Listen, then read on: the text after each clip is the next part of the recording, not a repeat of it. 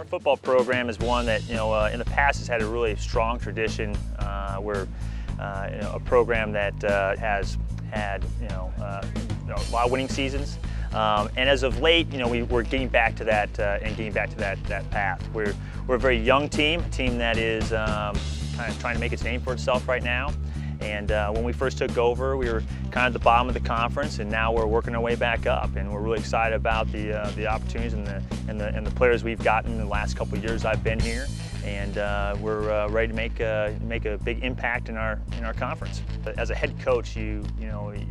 It's not about us. It's not about us as the coaches, the coaching staff. It's, it's about our players and, and, and making sure that our players become successful. And not just on the football field, but because of all the life lessons that are associated with the you know with, with football and sport in general, um, you know we try to bring those out. We try to bring those out with accountability, discipline, um, you know work ethic. It's not just about football. It's uh, you know it's about uh, you know making sure that our players become you know successful.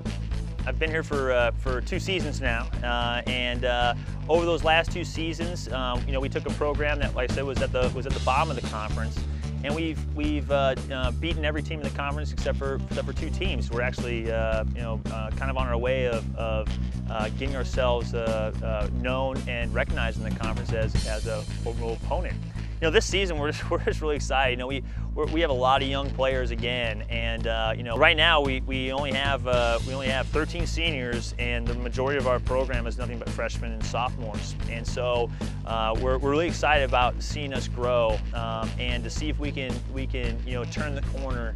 Uh, and uh, you know, I think we're gonna we're gonna have a, our, ourselves a, a, pretty successful year, uh, and and hopefully win ourselves our, our first SCIAC championship in in 17 years.